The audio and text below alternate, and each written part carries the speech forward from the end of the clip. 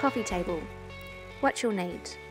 MDF board 16mm thick, that's 1800mm long by 600mm wide, plywood that's 16mm thick by 900mm long and 600mm wide, a pencil, a ruler, a circular saw, a tape measure, screws, a drill bit that's 3mm, and a drill. Step 1. Measure, mark out and cut the tabletop length to size. We did 600mm by 750mm long. Step 2. Measure, mark out and cut the side panels, the legs. We did 600mm by 450mm long times 2. Step 3.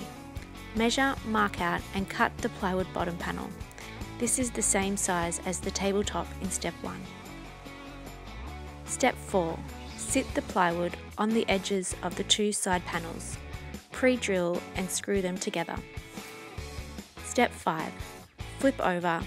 Sit the tabletop MDF piece on the edges of the two side panels. Pre-drill and screw together.